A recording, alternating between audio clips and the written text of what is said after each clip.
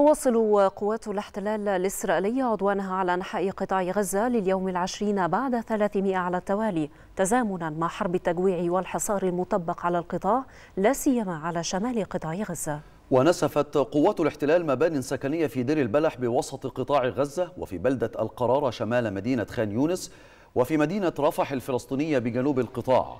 كما استهدفت قوات الاحتلال خيام النازحين في جنوب القطاع فضلا عن استهداف منازل في شمال قطاع غزة.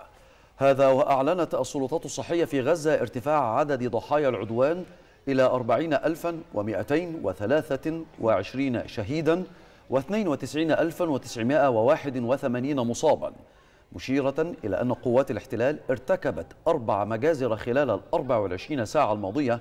راح ضحيتها 50 شهيدا و124 مصابا. God.